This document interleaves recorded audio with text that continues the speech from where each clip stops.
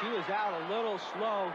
She's picking it up now, but Heather Oakes was out very nicely just on Evelyn's right shoulder. Look at the strides of Grace Jackson on the outside. Not enough to catch Evelyn Ashford.